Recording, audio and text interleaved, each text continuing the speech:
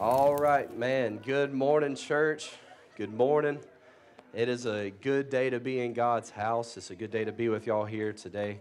And uh, man, I'm excited. I'm excited for what's going on. I'm excited for what we've got. A lot of cool stuff planned for today, uh, but, but it's Sunday, right? It's a special Sunday. We get to celebrate the risen Lord Jesus, but each and every Sunday we come together to celebrate the same thing the resurrection of Christ. Uh, in a second, I'll share with you a few scriptures uh, about that first day of the week, about what it is. But before we do, I got a couple things to share with you about our church. Uh, we had an awesome service on Good Friday. It was awesome a couple days ago, a couple evenings ago. We had a worship service. We got to record, so I'll be looking for that in a, in a little bit. It's going to take some time to edit and get everything down and re recorded, but uh, it's going to be cool. It's going to be exciting, something we've never done before. We recorded our worship service, and uh, we get to put that out there in the future uh, to kind of go and, and share the gospel through that through that manner and there and encourage some people in that. So Friday was awesome. Uh, to this morning is going to be awesome. It's Easter morning. Uh, everybody's looking sharp. If you want to take your pictures right after service, we can. I know Brother Cullen's been busy back there with the camera. Everybody's looking sharp, aren't they? It's looking good. It's looking good. And so after service, if you didn't have a chance before church to get your pictures taken, you can head on right through the Legacy Hall doors. It's in the second room, and you can uh, t- get your pictures taken with your family. Uh, pretty cool, pretty cool, that kind of stuff.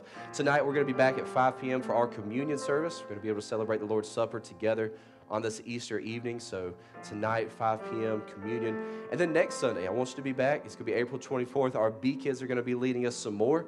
Uh, the choir is going to be leading us today. Uh, I'm very excited for that. Uh, they've been working hard on it, and they sound good, and it's going to be awesome. Uh, little Elijah, where's he at?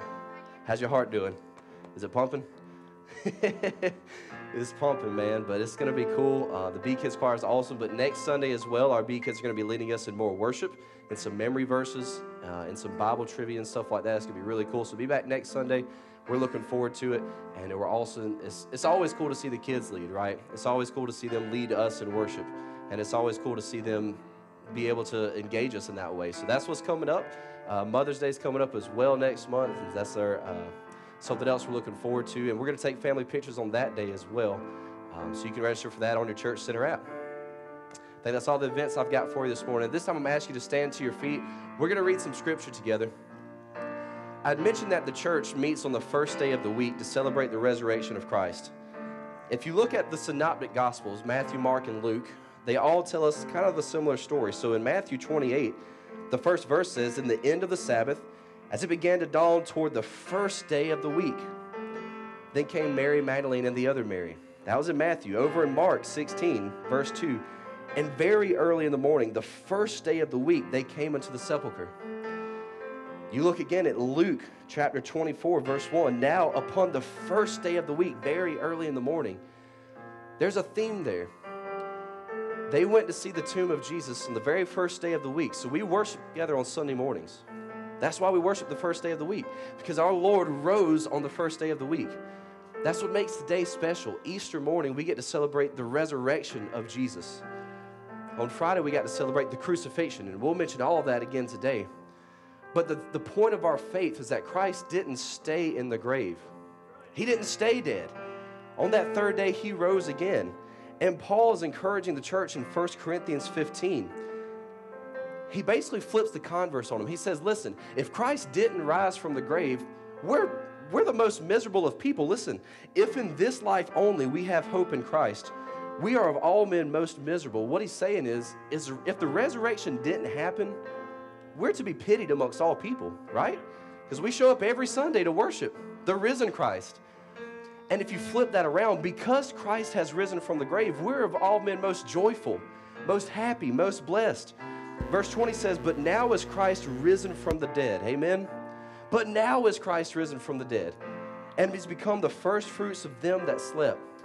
The promise to us is as Christ rose from the dead, one day we, the loved ones who have gone before us that believe in Christ, they will and we will rise with him, and we'll be given bodies like him.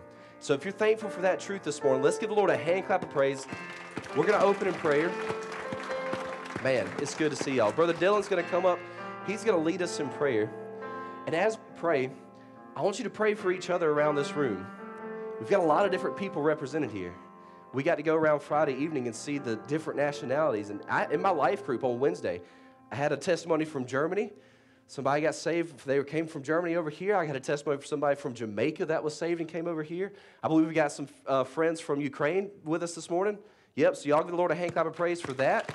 A lot of different people, man. It's good to see God moving in the nation. So let's pray for each other. Let's pray for God to move in us, and Brother Dylan's going to lead us in prayer. So go ahead, brother. Heavenly Father, God, we thank you for allowing us to gather here this morning, Lord, in your name. God, we just want to thank you for giving us your son, God, to stand in our place, God, to take that debt for us, Lord, to hang on the cross for our sins, God. Lord, we also thank you for the resurrecting power, Lord, that brought Jesus from the grave, God, and that that power lives in us, Lord. We thank you so much, Lord, and pray that you bless the worship team this morning and bless the pastor this morning, God, so that they touch many more hearts and souls this morning, God. We love you and thank you. In Jesus' name we pray, amen.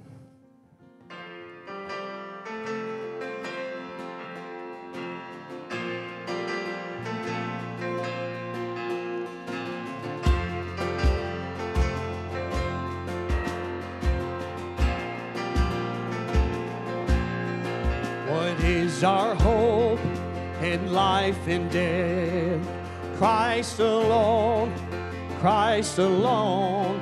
What is our only confidence? That our souls to Him belong, who holds our days within His hands. What comes apart from His command, and what will keep us to the end, love of Christ in which we stay. Oh, sing hallelujah,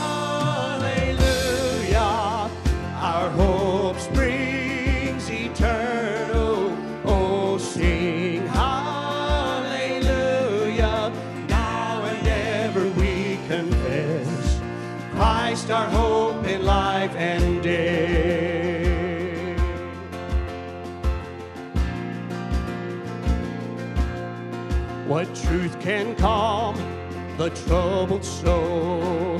God is good, God is good. Where is His grace and goodness known? In our great Redeemer's blood, who holds our faith when fears arise, who stands above the stormy trials, who sends the waves that bring us nigh unto the shore, the rock of Christ. Oh,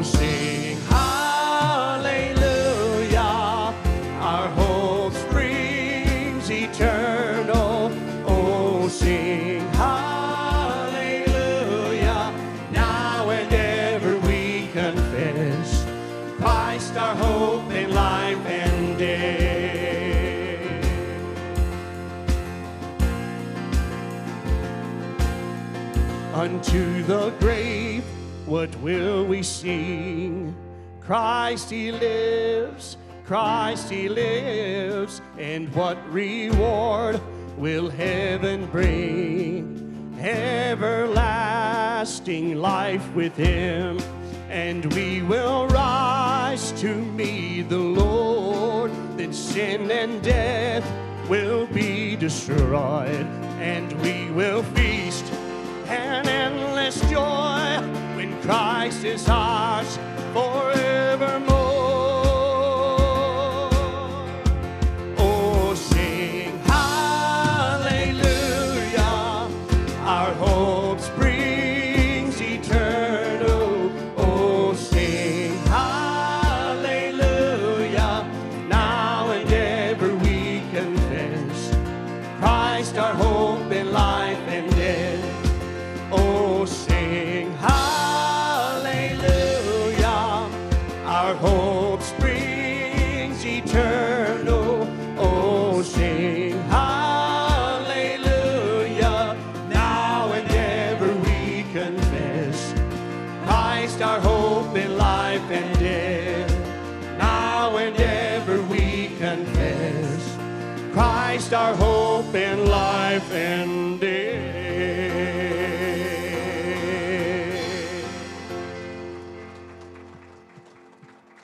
Amen and amen. You can have a seat right where you are this morning. We thank y'all for worshiping with us today.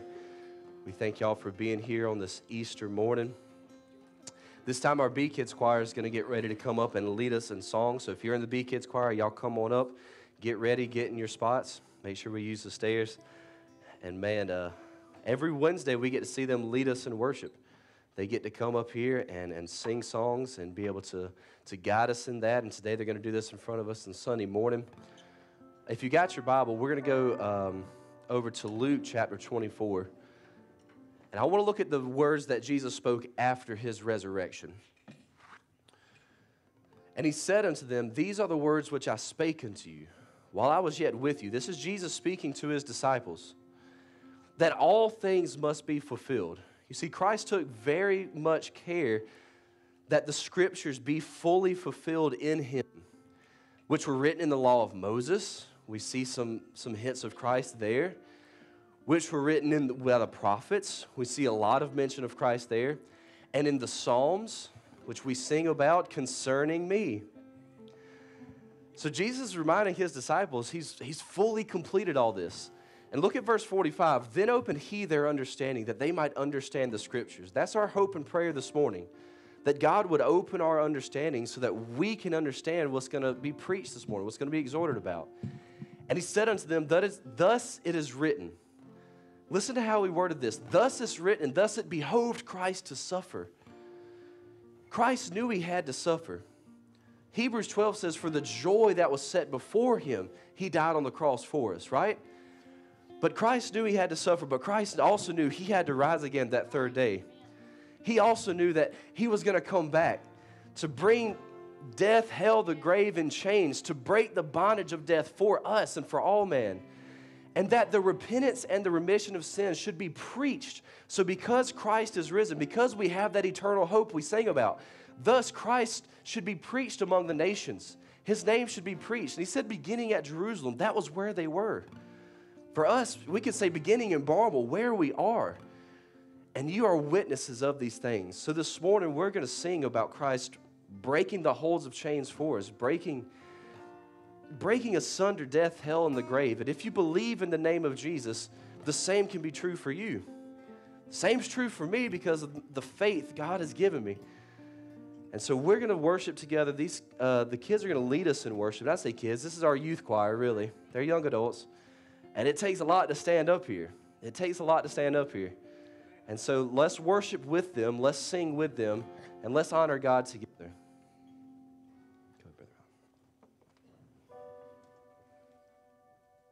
Oh, shame is a prisoner as cruel as a grave. Shame is a robber, and he's come my name. Oh, love is my redeemer, lifting me up from the ground.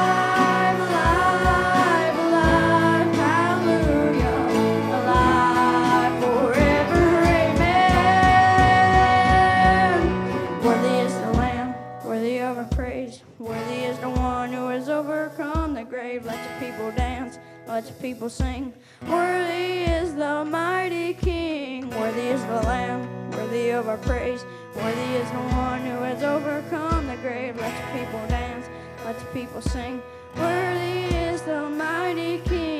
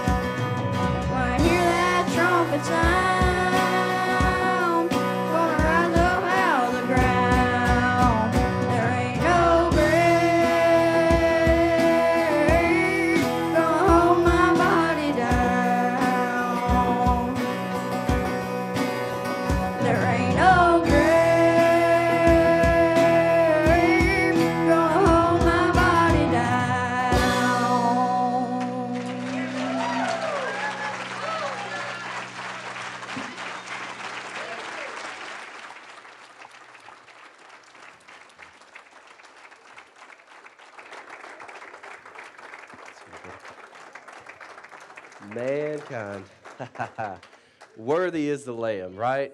Worthy is the Lamb who's to be praised. Hallelujah. Christ has come one time, and He's coming again.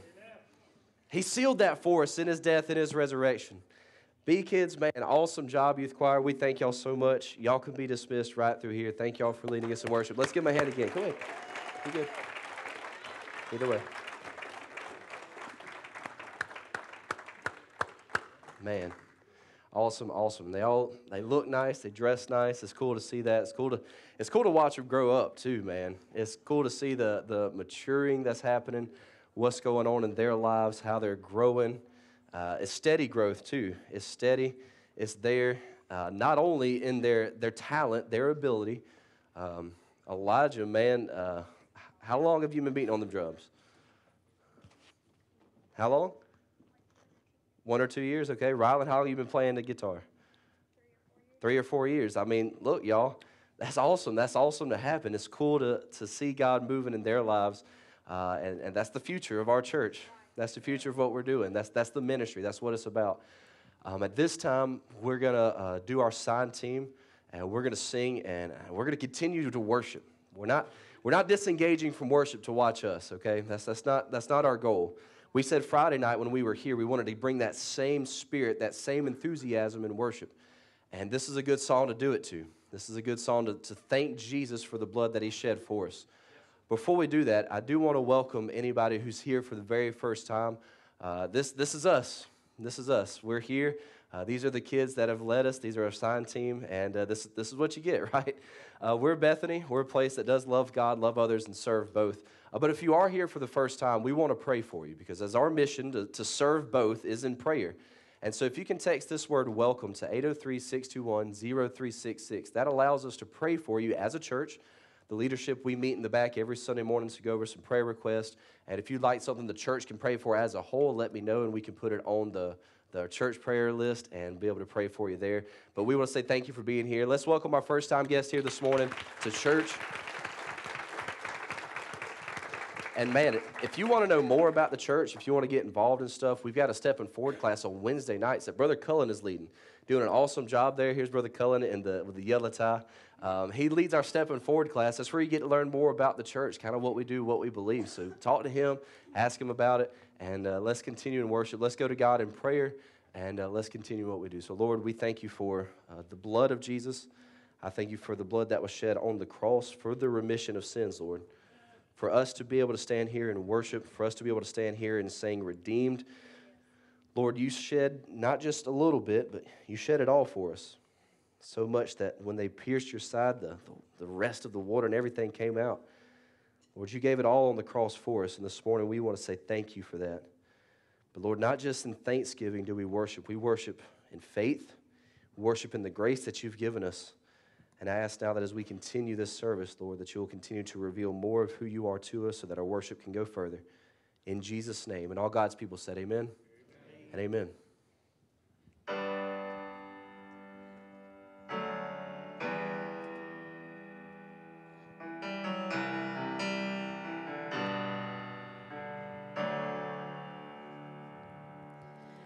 I was a wretch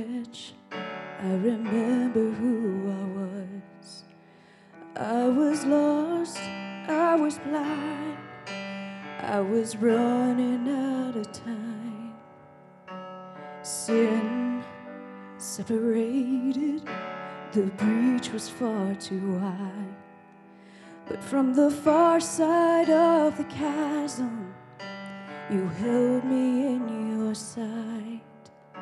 So you made a way across the great divide, left behind heaven's throne to build it here inside. And there at the cross, you paid the debt I owe, broke my chains, freed my soul. For the first time, I had hope. Thank you, Jesus, for the blood applied. Thank you, Jesus, it has washed me white. Thank you, Jesus, you have saved my life. Brought me from the darkness into glorious light.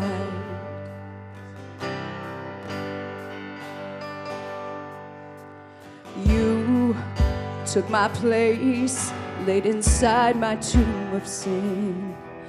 You were buried for three days, but then you walked right out again. And now death has no sting and life has no end. For I have been transformed by the blood of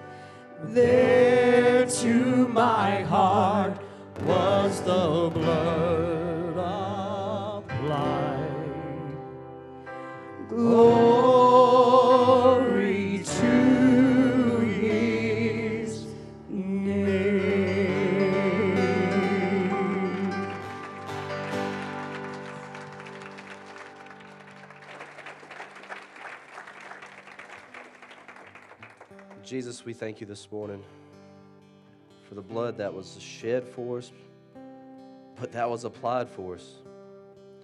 When we were dead in our sins, we were dead in our trespasses. And yet, while we were sinners, Christ, you died for us, for the ungodly. And Lord, you not only left us in darkness, you not only left us in sin, left us under the curse, but Lord, you came and broke those chains for us. Now we can sing glory to your name, not as a rebellious, but Lord, as a son, as a daughter, we can sing glory to your name. And Lord, we can wait expectantly for the day where you come to bring us home, where you come to bring us into your kingdom. And Lord, we pray and ask that you'll continue to deliver us here on earth. You'll continue to give us peace here on earth. And God, let us give you all the honor and the glory in Jesus' name. All God's people said, Amen and Amen. Amen. If you're glad to be in God's house, give the Lord a big old round of applause.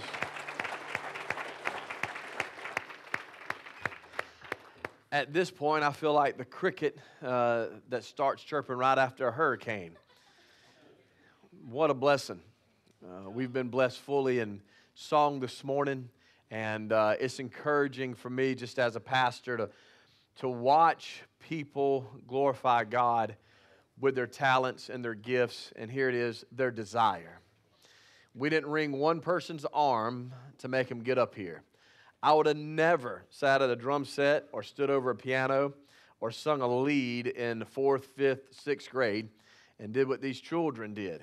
Uh, but I certainly appreciate their effort, and that's what they put in every Wednesday night. They want to be a part of this. And I was telling Ryan, sitting over there next to him, Ryan's a deacon here at the church, and he's been playing our drums for years and years and years here. He's been doing a great job. And the only drummer Elijah's ever seen is Ryan. And probably the only reason that Elijah wants to do drums is because he's seen Ryan do drums. Isaiah wanted to play the piano because he saw it done by Todd, and he has a high respect for Todd. And he wanted to do it. And so he's been doing it for years here with us now, and he's only in the seventh grade. What I'm saying is, what you do matters in a great and glorious way. And soon, you kids that were up here leading, the next group's gonna be looking at you, and they're gonna wanna do what you're doing because you're doing it. It's called example, it's called influence, it's called real influence. And you have more influence, and you have more joy and more glory in singing and using your gifts at the church than you ever will have in the world. So we won't, as a church, allow the world just to snatch up our young singers and musicians and use them after we've put so much work into them for the glory of God. We will guard them with our hearts and allow them to continue uh, to be used for God's glory. I want you to take your Bible and go with me to the book of Mark, chapter 16. Mark chapter 16. We'll as you're turning there together. Years ago, I wrote a little blog that went nowhere, and many, most people never seen it or, or read it. It was simply called The Nations of Barnwell. And even then, it was in my heart and my desire to see people from different nationalities, different countries, end up at a church service and in the future become members. The people that are in our community are not all alike, they're diverse. They're from different backgrounds. And today is a little sneak peek at that desire coming to fruition. Just a little sneak peek. And I want to let you know something, my, my friends from Ukraine. I got to speak to you. I know we met years ago, but I've been praying for your family. I've been praying for your country and uh, what the folks over there are going through. And we're going to continue to pray as a church for your family and for your country. We have people represented from America, of course, and we went through and asked everybody the other week different states they were from, and there's a lot of different states represented here. And as I was talking to one brother that's from out west, he said, coming from out west to the southeast is like coming to another country in some aspects.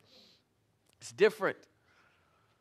We have folks represented from different states out of our own country. We have folks represented from India.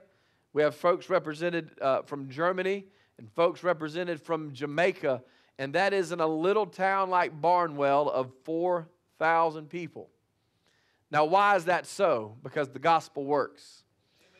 And the gospel has a gravity to it that pulls us not only to Christ, but when you come to Christ, you come to an innumerable multitude of other believers.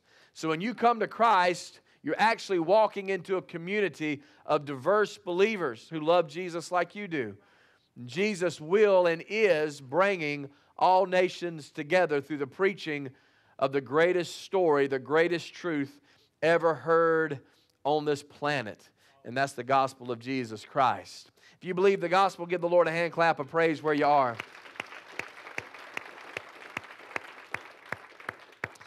I titled this little message very simply this He died and lives. That's an upside down statement, very upside down. Even in the book of Genesis, that great historical ca- account of God beginning to bring a people out to be his own people. The book of Genesis has a lot in it, but it has this statement that's reoccurring. He lived and then he died. Speaking of people, they live and they die. They live and they die. They live and they die. And over and over and over, that is a truth in our own lives. We see people live and they die. We see people live and they die. But Jesus turned all that upside down and he made all of that right because he died and he lives, which has eternal implications that such a truth, I mean, if you're going to be a radical teacher, if you're going to be a radical truth teller, be Jesus. Because he laid out truth that is hard to grasp or even conceive, but it makes plenty of sense. Historically, it aligns correctly. Historically, it's in line with every witness that spoke of it.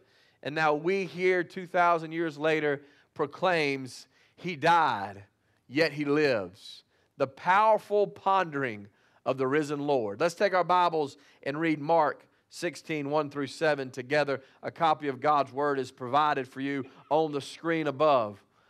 And when the Sabbath was past, Mary Magdalene and Mary, the mother of James, and Salome had bought, had bought sweet spices and that, that they might come and anoint him after he had died and been crucified. And it was very early in the morning, the first day of the week, they came into the sepulchre at the rising of the sun.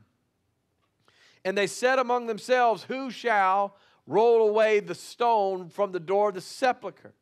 Who's going to unbond this seal because it was sealed? Who's going to loose it?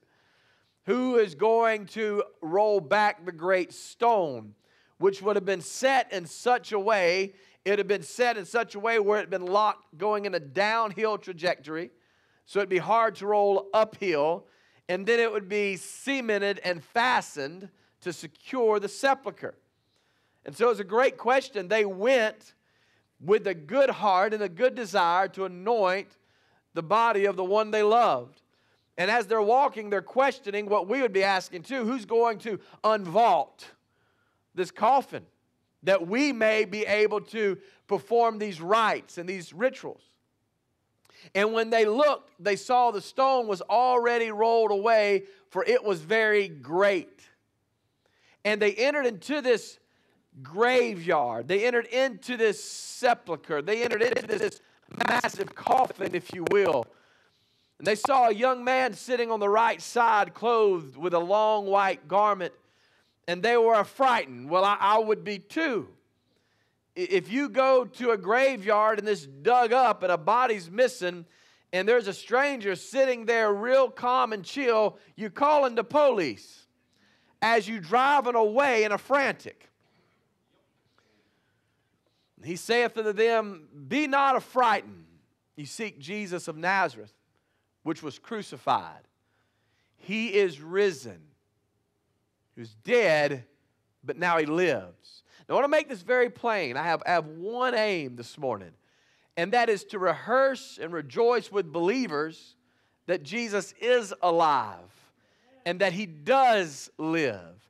And our hope and our desire and our purpose is with Him, that our eternity is solidified, that our hopes to live beyond the grave and be resurrected is real. I'm here to remember and rejoice in that truth and be fed with that truth and be fired up with that truth.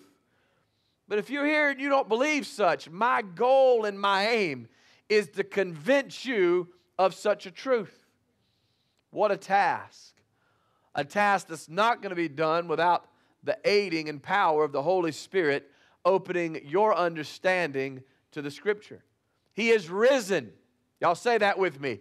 He is risen. He's not here. Behold the place where they laid him. Look at the rest of the instruction. Go your way and tell this story. Go your way and tell the rest of the disciples this story. Go tell them what you've seen. Go give them this new history lesson. Go find the disciples, find Peter. Go into Galilee, there you shall see him as he said unto you. So, not simply here's an empty grave with nobody in it and he's risen, but go tell what you've seen to others, especially those who have been following him faithfully. Those who have been following him faithfully and have fallen on hard times, go tell them what you've seen, and you will see him there. It's not done, it's not over. It's not just an empty grave, there's a whole lot more to the story.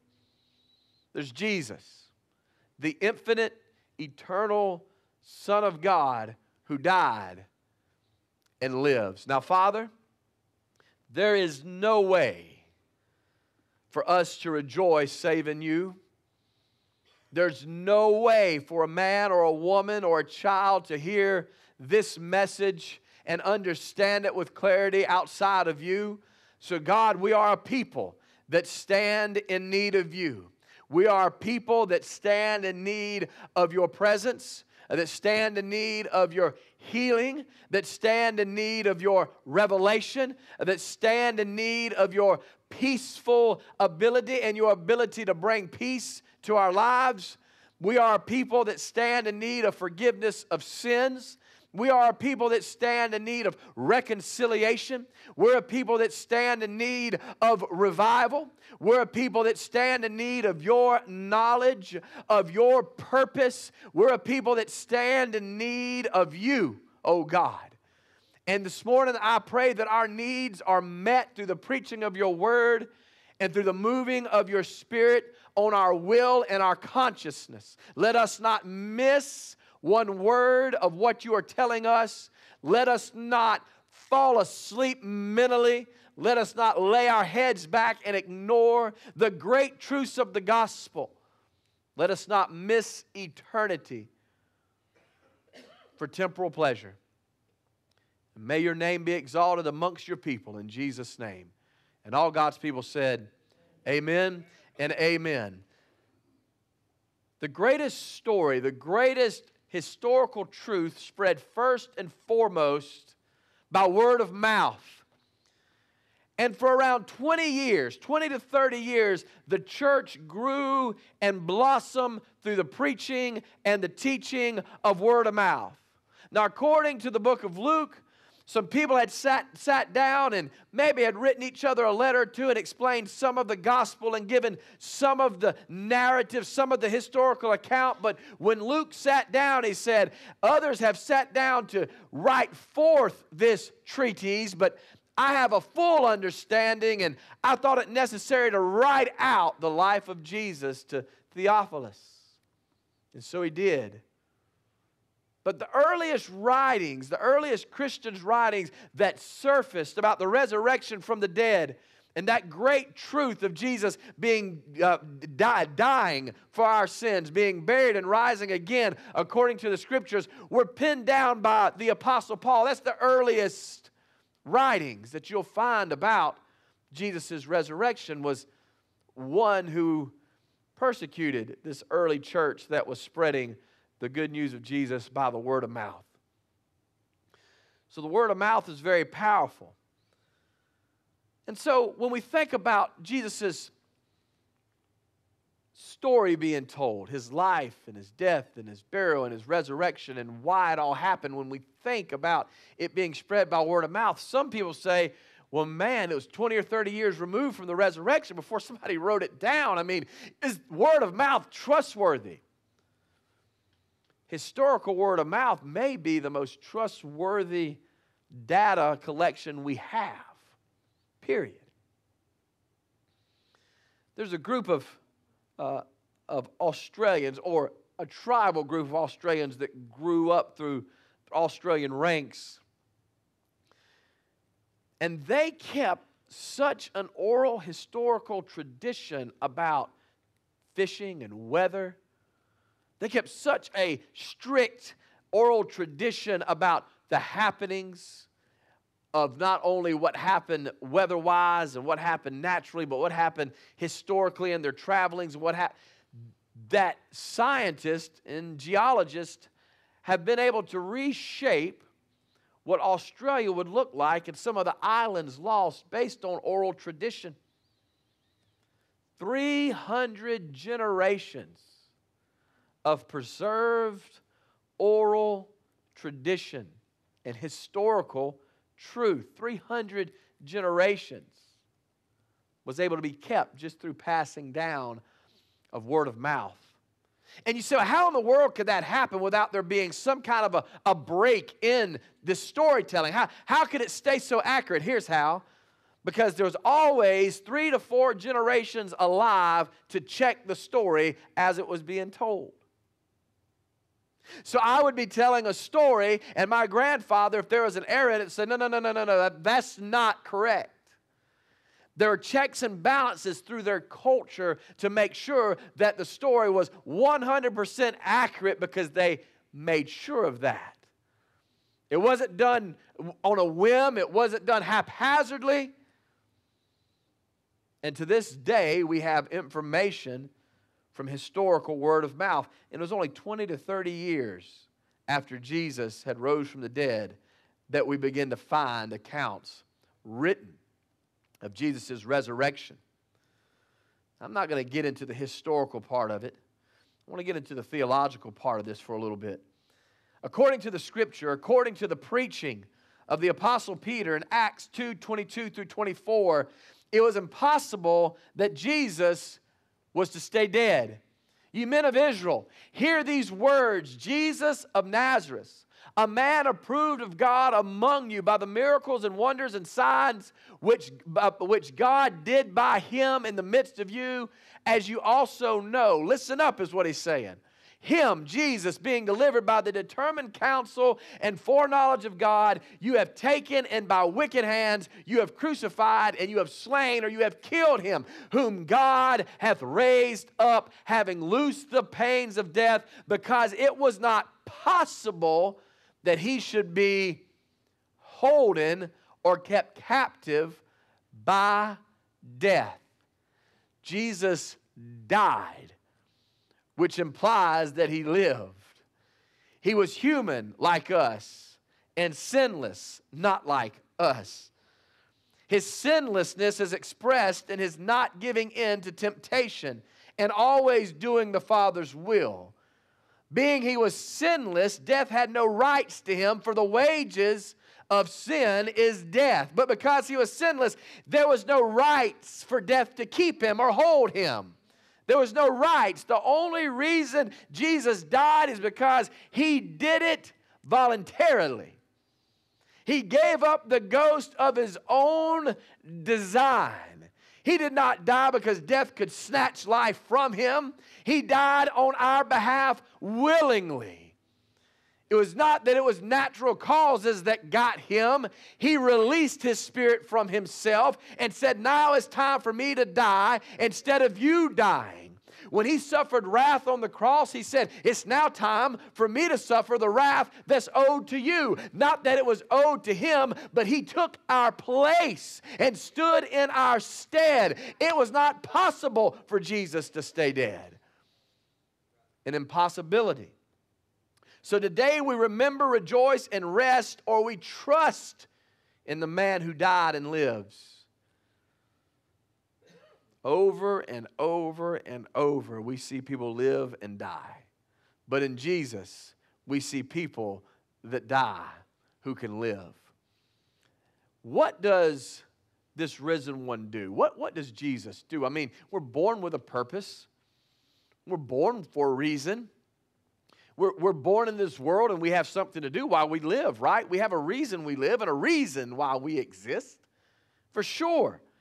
And if Jesus is alive from the dead, which he is, why is it? What is the purpose? What is the reasoning behind this? That's what we're going to look at this morning. Number one, he lives as the hope for all of humanity. He lives as the hope for all of humanity. And then my question is this hope for what? You say that's a broad stroke statement to say he lives for the hope of all humanity. But what hope? This kind of hope. Philippians 3 20 through 21 type hope. If you'll look there at the screen with me, for our lifestyle, our life, our conversation is in heaven, from whence also we look for the Savior, the Lord Jesus Christ.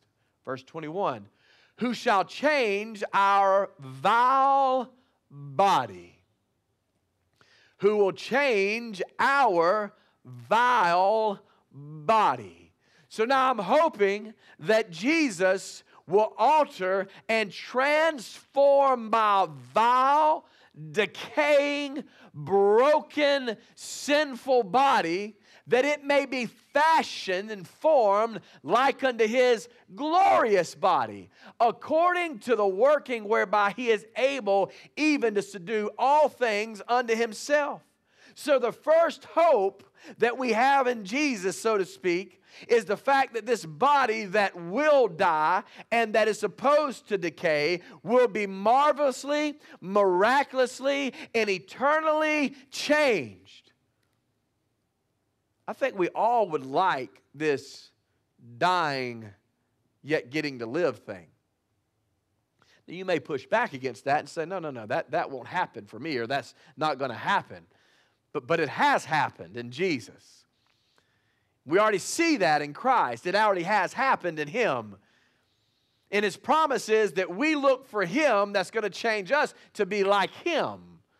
That means take your flaws, take your genetic defects, take your crippledness, take, take your cancer, take your depression, take your chemical imbalance, take, take your anger, take, take, take the things that separate you from others. Take all of that and it's been crucified with Christ, and now we hope in change.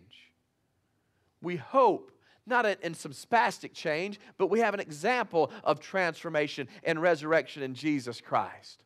A glorious body undefiled. That's one. Or a body like is listed in 1 Corinthians 15 54. So in this corruptible shall have put on incorruption, in this mortal shall put on immortality then shall be brought to pass the saying that is written Death is swallowed up in victory. What is Paul looking toward? He's looking toward the changing and the transformation and the undoing of the sin curse on our bodies. We're not talking about us floating around in a spiritual abyss on a cloud somewhere. We're talking about physical bodies being transformed and raised from the grave. I want to be pointed on that. The Christian faith is about that. We're not simply about doing good works. We do good works because Christ has finished his work of redemption. We're not talking about simply saying a few prayers. We're talking about our standing that fuels our prayer life is the fact we believe Jesus is alive bodily and that we too will share in this resurrection with Christ. Because he lives, we too shall live. So, a, hope that we too will die but yet live. And I think everybody in the world would love to share in such an experience. But it's not merely a living that we like we know it, but a living in the power of individuality and community fully expressed in health and peace to worship God and enjoy Him forever. He lives to bring us hope in a world that only offers dying. Jesus offers dying and living. Number two, what else does Jesus do? He lives to save and to make intercession for each one of us. He lives to save and to make intercession for each believer. Look at Hebrews 7 and 25. Wherefore he is able to save them to the uttermost that come unto him, that come into God by him. There's no one Jesus cannot save. There's no one Jesus cannot forgive. There's no one who's went so far that the loving, outstretched hand of God cannot hunt them down and pluck them out of damnation. There's not one person that Jesus cannot redeem to himself. All of us are on an even playing field. We all are sinners. We all have sinned. We all have broken God's law. We have all fallen short of the glory of God. And there's not one person that's fallen so far that the grace of God cannot find them where they're at and pick them up out of a horrible pit and out of a miry pit and out of a nasty pit and out of a dirty pit and wash them off. Not only wash them off, but make them new. There's not one. And it says he's able to, and here's the reason why he ever lives to make intercession for them. The reason he can save is because he lives. If you ever get a part of such an intellectual liberal church that they say Jesus, he rose again in some way, but not in the physical way, then you cannot be saved. You cannot be forgiven. Without a living Christ in the presence of a living God making intercession for you, there is no remission of sins. His resurrection makes it possible for you to be a Christian. Without that, you're not a Christian. Without that, you're not saved. Without that, we're most men miserable because we showed up today to rehearse something that's untrue. We've wasted money on suits, we've wasted time, We've wasted some aggravation trying to get the family here on time. We've just wasted in vain for nothing. But because He lives, we can worship God through the intercessory ministry of Jesus Christ. Now, I used to think of Jesus making intercession for me as like if I pray, Jesus, you know, kind of prays on my behalf. Right? But as a high priest that's already made the atonement, as a high priest that's already finished the work, he just stand and he is the lamb that was slain and he is the high priest and he is the shepherd. He's all of that. Being that he's all that we need as he is standing or seated before God because he lives, he's the representation that we're acceptable before God. He is the exact image of why we're acceptable before God. So as long as Jesus lives, I'm accepted before God. Now check this out. As long as God accepts Jesus, I'm acceptable before God. I am secured in the arms of Jesus. Period. And you can be too if you're not. And if you're like many of us and you say, I'm, I'm, you know, I'm a Christian, and, but I've, I've, been a, I've been a wondering, did you know some of our Christian songs are written about real life? Can you believe it? One of my favorites is Prone to Wonder. Lord, I, I feel it. Given a chance, outside of the Lord's Prayer, lead us not to temptation, deliver us from evil, given a chance, we're prone to wonder. You say, man, I, I'm, I'm prone to wonder. I, but Jesus ever lives to make intercession to you. Wonder no longer, wonder no further. Jesus lives to make you right with God. So live right with God. So he lives to make intercession for us. Finally, well, almost finally, he lives to make all things new. Now, you don't have to be a Christian to agree with this whatsoever. This is just, we live in a broken world. We live in a sin filled world. You first knew this, whether you understood it, you first knew this when you did something wrong as a little kid and you felt shame or guilt or you hid it. You didn't want mom and dad to know. You didn't want your teacher to know. You didn't want your daycare person to know. You did something that was unacceptable. You knew it. I don't even know if anybody told you not to do it. You just knew it. You knew it right there. You were, you were already witnessing get yourself as a little child that you were broken. You knew it when you became 11, 12, 13, and around that age is when you develop this consciousness that mom and dad aren't perfect. So you, you knew the world was broken when you realized my family is not fully all put together. My family has cracks in it. You knew it then. You knew it around friends when you saw the cracks in them. You knew it as you got older and you went to college, you went to the workforce, and you saw that the cracks were bigger than you ever thought. You feel it and you felt it through a pandemic. Nations feel it through war and destruction and death for little to no reason at all. None. I don't think anyone can stand up and say, I want to disagree with you and debate with you about the brokenness of the world. I think it's all together. Everybody in here would think you were bananas. And if you don't know what the banana means, it means you're crazy. Nobody would agree that things are well. All of us would agree with this, though.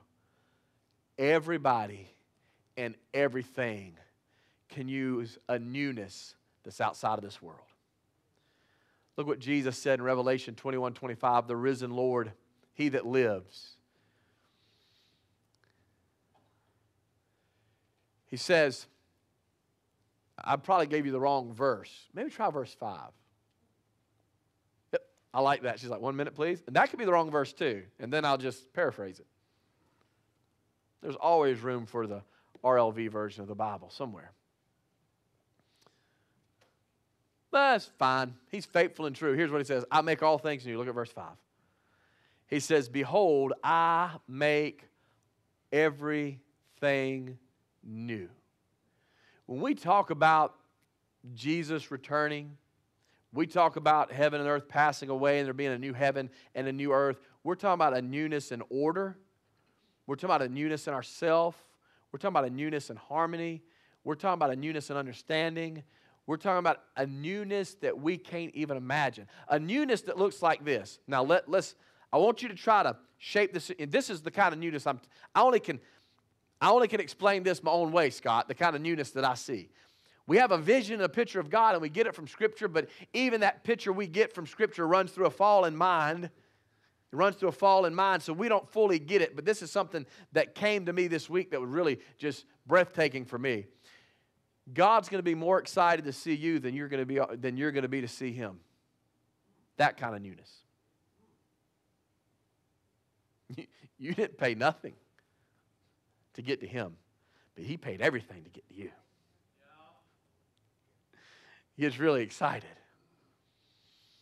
God's going to be more excited to see you. You say, me? Than to see him? Impossible. No, you're not going to be no more full of joy than God is. You're not going to be more any full of happiness than God. It's impossible. You're not eternal. Yo, God's going to be more happy to see us than we are to be to see him. That's not saying we're not going to be happy. That just says our joy isn't going to match his. That kind of newness. Let that just sink in. Argue with yourself about that a little bit. Try to find some Bible verses that disagree with that. I will sing over you with singing, says the Lord. When one person repents and turns to Jesus, it says there's rejoicing in the presence of the angels.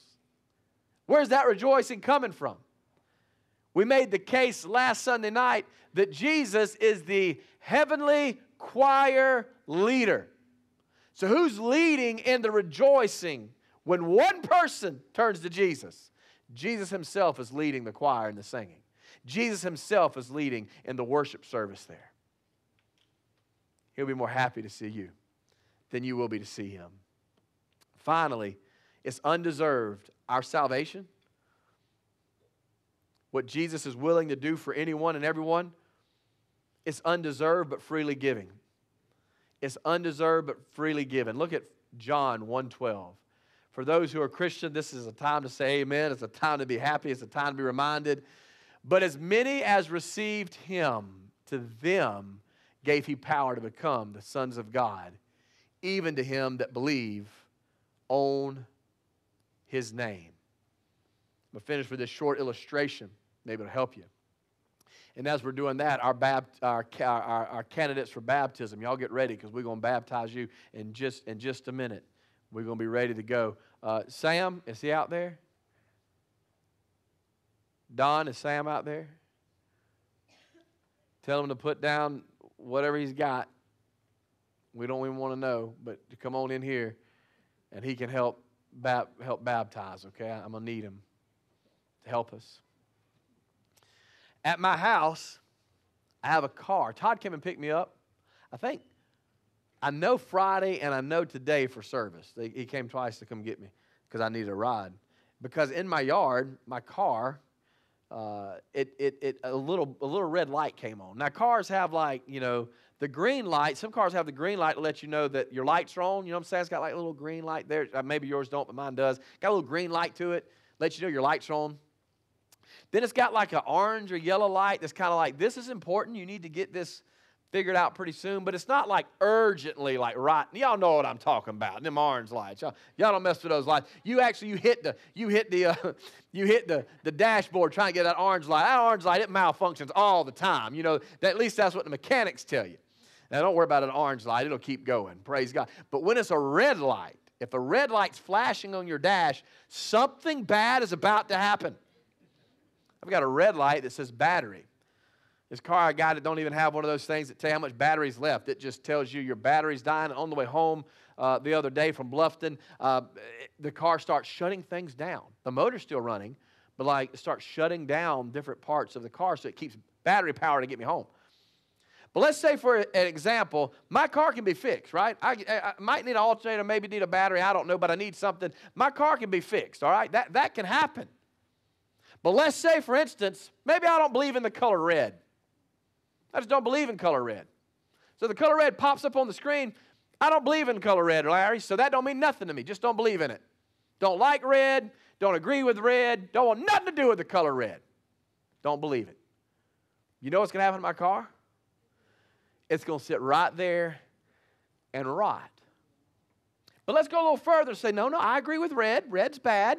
Red means something bad's going to happen. I better believe in red. Red says I need to do something about it. But I don't believe in the mechanics. I believe that something's wrong. I just don't believe anyone can fix it. That's where a lot of people are today around the world. They believe in their heart something is wrong, something isn't right, but they don't believe anybody can fix it.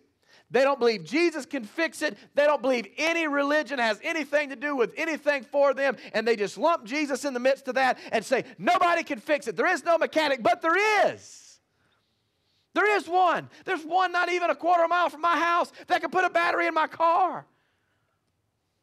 And there is a God of heaven that can fix the red lights in your life. There is a God in heaven that can fix those things that you think cannot be fixed. And He does it freely. And that's why we say there ain't no grave going to hold our bodies down. That's why we say, Thank you, Jesus, for the, the blood applied. That's why, because we know He can fix it. But if you don't believe that something's wrong with you, you don't believe in a red light, have it your way. But your old vessel will sit there and rot and decay. And if you say, well, I can't agree with you on a philosophical level that there's something wrong with everybody because everybody's human. I've heard people say that. It sounds real cute. It's just deadly. It's true, but it's deadly. But you believe something's wrong with you and Jesus cannot forgive you, or Jesus cannot make you a new person. Jesus cannot redeem you. That's you've done set the bar, so you've denied Christ. That's a dangerous place to sit. So I ask you to do two things if you haven't. Number one, agree there's some red lights, number one. And agree that Jesus can redeem and fix and make all things new. If you believe in that, give the Lord a hand clap of praise where you are. We're going to do some baptism. This is, uh, this is Tyson. Tyson's been with us for some time. He's got an interesting story. Uh, we've eaten lunch a couple times together, chatted over the phone a couple times, and just getting to know each other and, and speak. And uh, very interesting story. And I'm not going to share his story, but I want him to be able to share his story one day with you. I want him to be able to tell you his background, where he's from, how, how he grew up, and, and how God got him to this point because it's different than my story and it's different than your story, but we got the same results. That's why word of mouth is so important. That way people know there's room in the kingdom for them. His story ain't my story, but God saving him and saved him the same way he saved me. It's not, it's not different. I love it. These are our kids. Y'all welcome them back. They're coming here to witness baptism. We always let them get the. You say, why do you let them witness baptism? So they go home and ask mom and daddy what's that's about. And hopefully, mom and daddy is churched enough to say, we can tell you. Or maybe they can say, hey, my kids have been asking questions. Can you help us? And yeah, we can help you. Excited, very excited for Tyson. Thank the Lord for salvation, Tyson. Thank the Lord for discipleship. Thank the Lord for good preaching and good things out there that drew you to Himself. Brother Sam, will you baptize our brother into the kingdom and the church of God?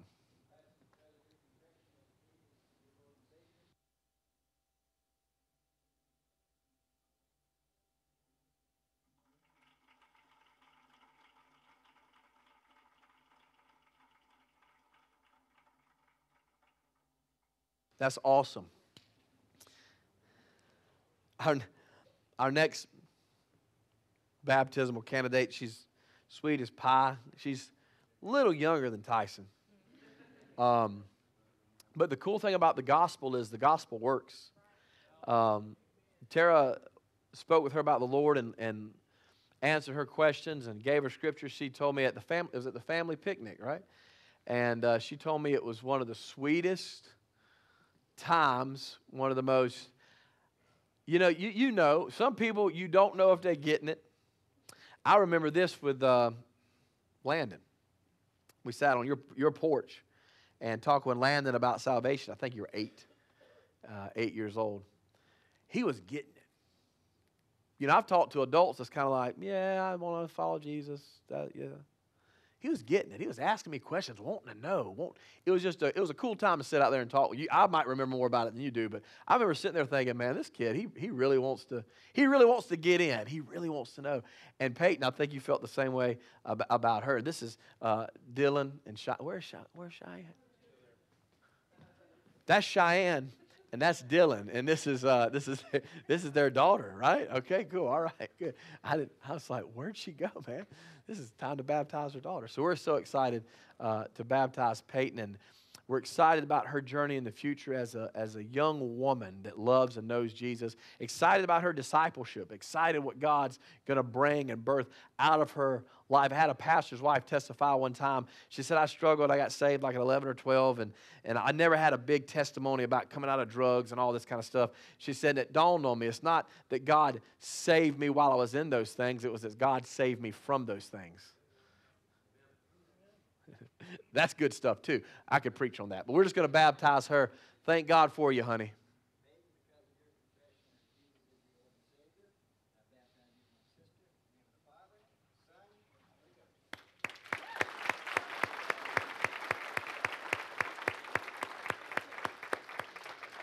Let's, uh, let's stand to our feet all together. Todd, you and your team are coming to lead us. We do have communion scheduled for this evening at 5 p.m., Easter communion. Excited to partake of that together. Excited to be a part of not only baptism as an ordinance, but the Lord's Supper. We don't take communion lightly around here. We believe in it. We don't, we don't we don't see it as quote unquote necessary, but we see it as the next thing to it. It's a very important thing when Jesus commands it and says, Do this in remembrance of me. Baptism, do this because of me. Y'all with me? Because I died, lived and died and rose again. Because of me, do that. And in remembrance of me, do this. So we'll have the cup and the bread and a we'll probably be a we always say short communion service so it'll be an hour long so we'll you know might as well lie and tell the truth at the same time. It's all according to your perception of time. But we'd love to celebrate the lord's death with you and his promise to return tonight. Um, not he's going to return tonight but we're going to celebrate the promise of his return tonight. But he might return tonight i'd be here if i was you. We're going to sing this hymn together.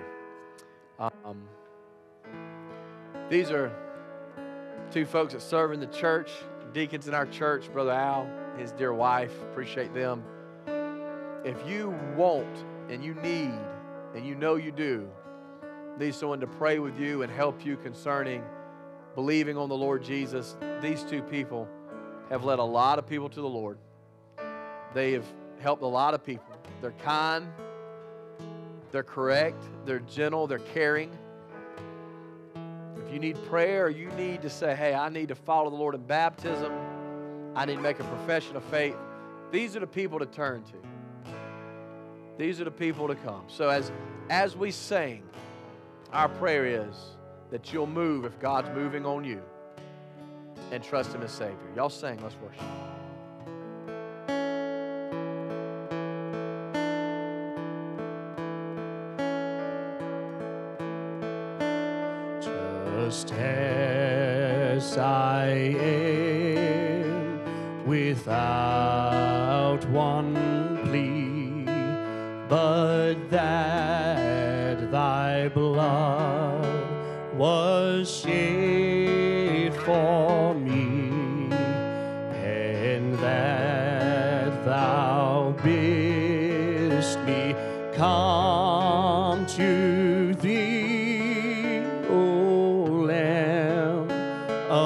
God,